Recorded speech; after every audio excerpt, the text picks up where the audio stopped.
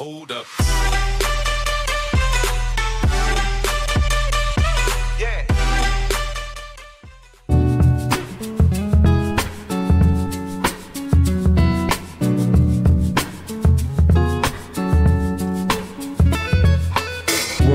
Two, three into the four. Snoop Doggy Dogg and Dr. Dre is at the door, ready to make an entrance. So back on up. Before I have to pull the strap out the cut. Give me the microphone first so I can bust like a bubble. Compton and Long Beach together, now you know you in trouble, cause ain't nothing but a G thing, baby. Two loped out G, so we crazy. Death Row is the label that pays me. Unfadable, so please don't try to fake this. Hell But uh, yeah. back to the lecture at hand.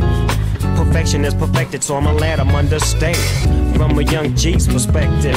And before me they got a trick, I have to find a contraceptive. You never know, she could be earning her man and learning her man, and at the same time burning her man. Now if she burning, I'ma chill for a minute, cause ain't no loving good enough to get burned while I'm offended. Yeah. And that's realer than real deal, Holyfield. And now you hookers and hoes know how I feel. Well, if it's good enough to get broke off a proper chunk, I take a small piece of some of that funky stuff. Funky stuff. Funky stuff.